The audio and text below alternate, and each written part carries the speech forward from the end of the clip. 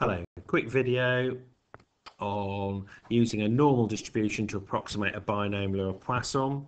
And this is probably something that's historic before we had lovely calculators that would do all of this for us. And if you hadn't got that, sometimes it was easy to use our normal distribution and tables to calculate the probabilities for a binomial or a Poisson. And here's an example why it works below.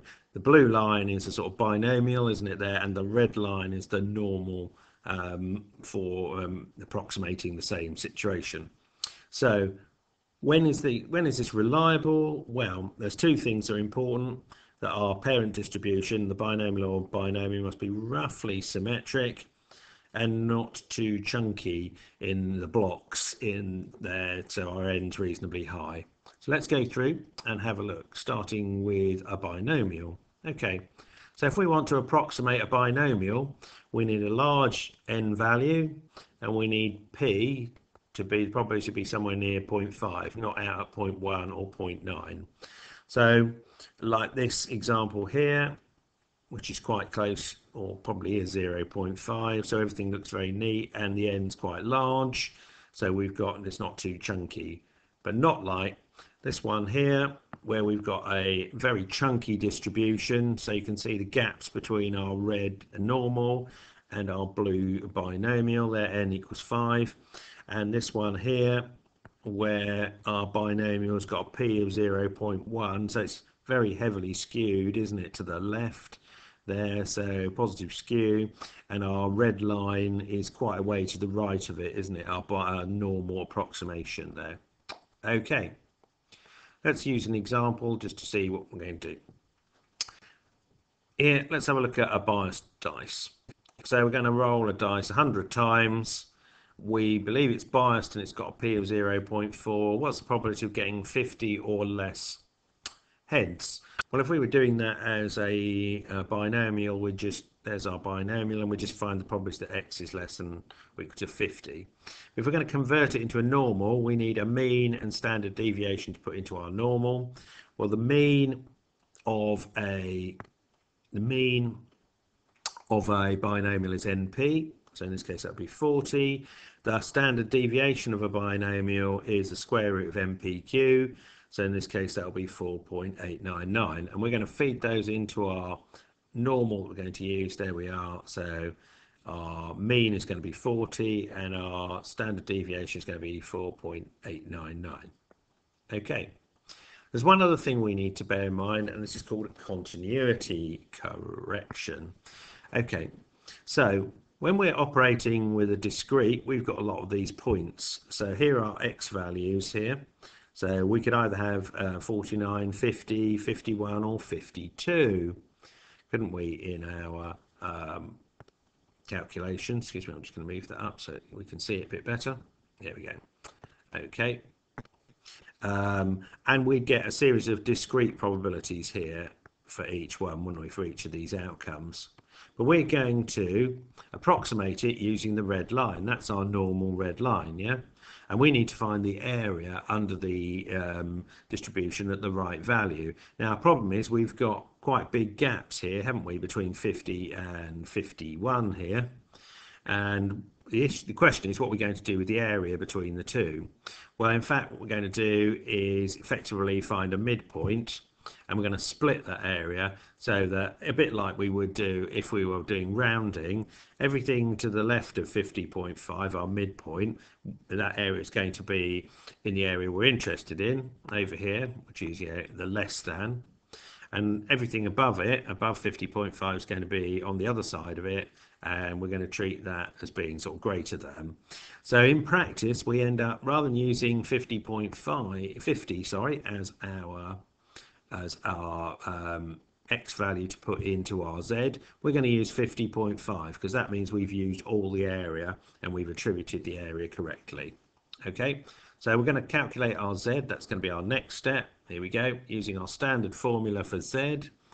Um, and now our x value here for the midpoint that we use is 50.5. Take away 40, which is the mean, and divide by 4.899 which is our standard deviation and we get a z value of plus 2.14 in this case if we feed that into our normal that value plus 8, we're going to get this probability. So let's do that on a calculator just to convince ourselves. Here we go. So here we've got a normal. Um, our lower bound is a big negative number as ever. Our upper bound is going to be 2.14. We're using a standard normal, so the standard deviation is 1 and the mean is 0.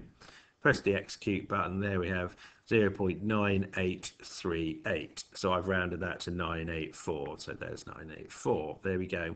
Just out of interest, how does that compare to the precise answer on the binomial? Well, in our calculators these days, we can just go in again, distribution, binomial, BCD. So here we were interested in, excuse me, 50. It's the number of values, isn't it? Number of trials was 100 and are probably a 0.4. So the precise answer is 0.983. So we were very close by, weren't we here? Okay. Now let's have a look at using a normal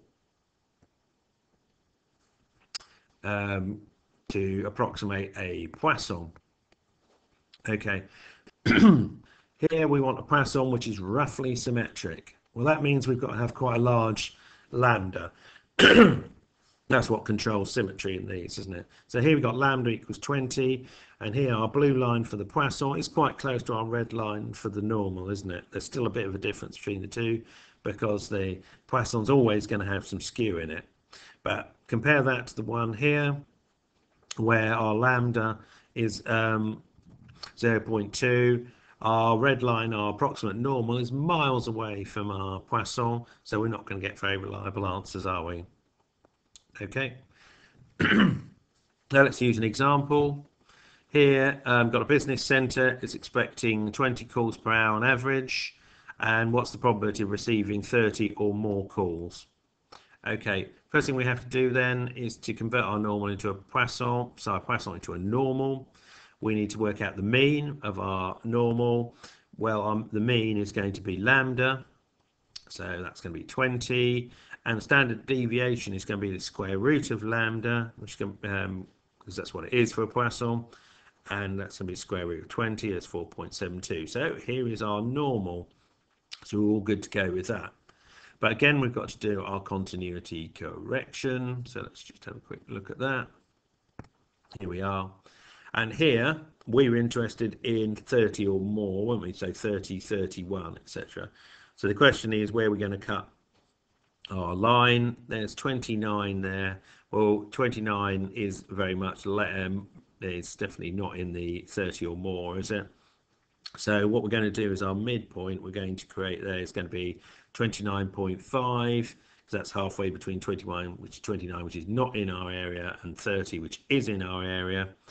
And again we're going to find the um, criteria rather and again we're going to find the area um, from 29.5 or more. That's going to be the x value we're going to put in for our z. So here we are with our formula again and we're going to have our x value critical x value is 29.5 we're measuring how far it is away from our mean of 20 and dividing by our standard deviation of 4 point 472, so we get a z of plus 2.012 and therefore if we want to calculate that we're looking for a more a 2.12 or more aren't we? So let's go back into our normal distribution distribution normal ncd this time 2.12 uh, is going to be our lower bound isn't it upper bound is going to be a very large positive number again we're doing a standard deviation uh, standard setup of the uh, normal, so that's uh, sigma of 1 and mu of 0. And here we have a probability of 0 0.017. There we go. Um, let's just quickly check that out against the precise answer if we use the Poisson. So let's pop up and have a look again. Exit, exit, distribution. Uh, by the Poisson's off the end here. There is Poisson. We're doing PCD we're going to have to do one minus here, aren't we? Because in Poisson we can only go um, from the left-hand end, a bit like binomial. So what we have to do is, let's just check here, we're looking for the probability that x is greater than or equal to 30. To calculate that, we have to do probability in 1 minus, so the complementary probability that x is less than or equal to 29. So let's put that in our calculator. So our x is going to be 29 and our mean is 20 here. So we just push our button. There we go, 0.978 there and 1 minus it is 0.22. So there's a bit of a gap here, isn't there, between 0.22 and the 0.17, but they're very pretty, well, yeah, out of a, out of a full probability of 1, that's pretty close, isn't it? Okay, and finally, here's my little summary. Um, we can use the normal approximation where the parent is roughly symmetric and smooth. Use uh, for a normal, we need n to be large, greater than 10, and p to be near 0.5, not out there at 0.1 or 0.9. And then we're just going to take our uh, mean and standard deviation for a binomial NP and square root of NPQ and use those in our normal. For a Poisson, we need um, lambda to be large, i.e. greater than 10 to give us some semblance of symmetry then our mean is going to be lambda and our standard deviation is going to be the square root of lambda. Those are the figures for a uh, Poisson distribution.